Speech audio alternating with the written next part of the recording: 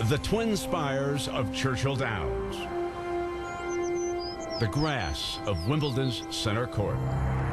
Symbols as fundamental to the history and lore of a sport as the great champions who have won on these grand stages.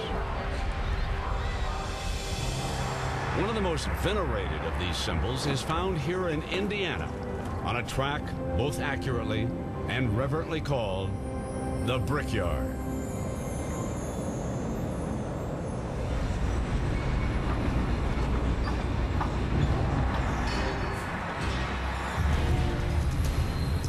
The brick.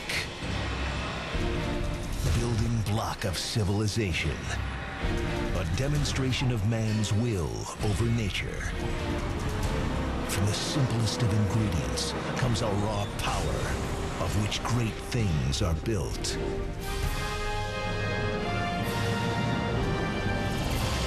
Enter this hallowed track and you realize no matter how much times change, some things stay the same. Tough is tough. Fired up is fired up. And a finish line is a finish line. Victory here is a precise process. Get it right, and you'll stand the test of time. Get it wrong, and it spells disaster. This grand palace is built of brick and motor, grit and speed.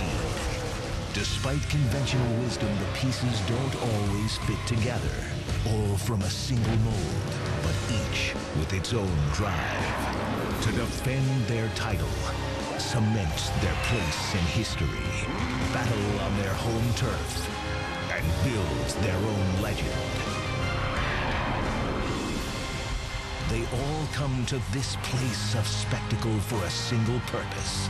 Because it is only in July, in Indiana, that a hardcore man-made stone looks good enough to kiss.